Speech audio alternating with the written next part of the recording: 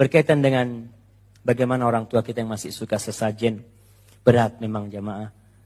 Tradisi itu kata Imam Syafi'i rahimahullahu ta'ala. Tarkul adati adawah.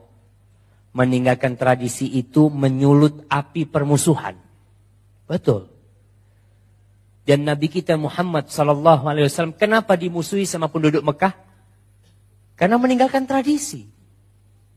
Orang-orang punya tradisi, tradisinya harus dirubah, bukan tradisinya dikemas sama Islam.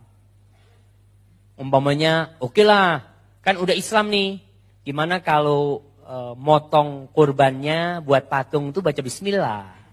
Kan udah Islam. Umpamanya menyerahkan kepala kerbau itu baca Al-Fatihah. Ini mengemas tradisi dengan Islam. Nggak bisa. Kalau tradisi itu bertentangan dengan Islam, harus dihilangkan.